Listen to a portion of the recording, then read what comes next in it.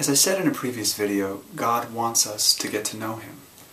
He wants to reveal Himself to us, and He wants to show us what His plan is. But what exactly is it that God wants to reveal? What is the grand plan? God's loving and good plan is to give Himself to us. His plan is to give us access to God the Father through Jesus Christ in the Holy Spirit. Now that's kind of worth repeating. God wants to reveal himself to us. He wants to give himself to us. How? Through Jesus Christ in the Holy Spirit.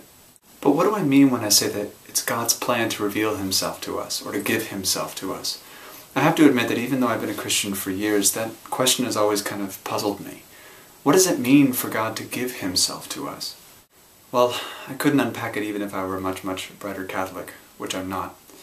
But the Bible describes it kind of like this.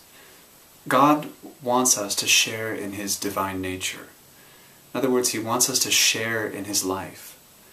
It's like God wants to adopt us and make us part of his family in Jesus Christ.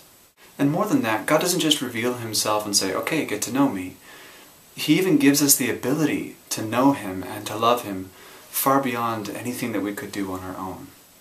But it's a slow process.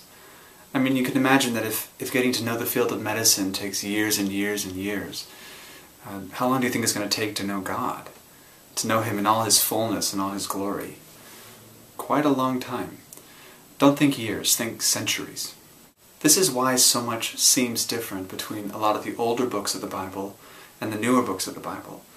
In the older books you find all these various laws and, and you know, dietary restrictions and things that were done back then um, that seem very different from the sorts of things that Jesus Christ talked about in the Gospels or the kind of things that the disciples wrote to the different churches.